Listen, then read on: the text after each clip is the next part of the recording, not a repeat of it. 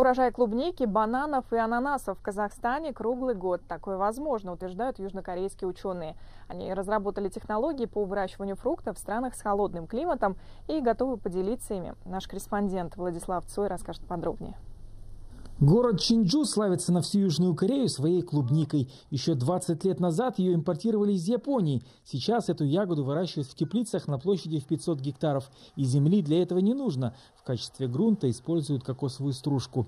Полив клубники тоже необычен. По этим трубкам поступает вода и питательные вещества. Их можно сравнить с функцией вен у человека. Семья Чо выращивает клубнику почти 25 лет. Этот бизнес сделал их жизнь сладкой во всех смыслах. Они едят ее практически каждый день и продают урожай. У них 11 теплиц, и в каждой собирают с сентября по июнь от 6 до 10 тонн ягоды. Самое трудное построить теплицу и оснастить ее оборудованием для подогрева. При выращивании зимой необходимо поддерживать корни в тепле. Для этого дополнительно проложены трубы. Зимой используем печи, поэтому, когда стоимость на топливо растет, возникают и трудности со сбытом урожая. Экзотические фрукты и овощи адаптируют для выращивания в Южной Корее в исследовательском институте. Весь транспорт, который заезжает на территорию, проходит дезинфекцию.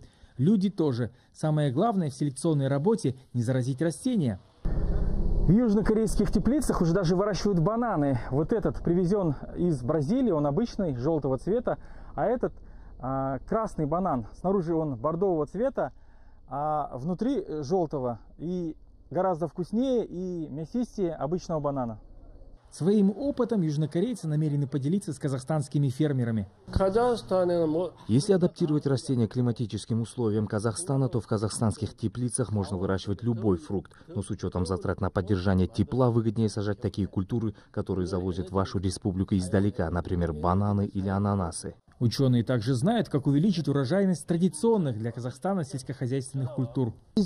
Если подготовить семенной картофель для выращивания в теплице, то можно получать два урожая. Из рассады мы получаем картофель одинакового размера. При его высадке можно собрать урожай в 2-3 раза больше. Обычно при посадке овощ делят на 4 части. При этом качество урожая среднее и болезней у картофеля много. А новая технология исключать заражений позволяет получить качественный и большой урожай. В каждом южнокорейском регионе пытаются выращивать свое особенное растение. Это помогает привлекать туристов. Поэтому кроме клубники из Чинджу, известны мандарины острова Чеджудо, хурма уезда Йондон и яблоки из Ясана. Владислав Цой, Ли Санхён, Хабар 24, Южная Корея.